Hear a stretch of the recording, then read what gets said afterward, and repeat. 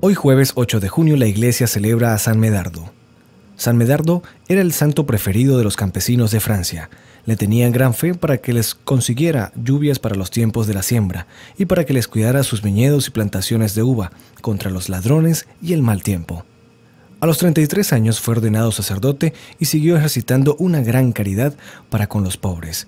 A los estudiantes más necesitados los sentaba a su mesa gratuitamente para que se alimentaran lo mejor posible.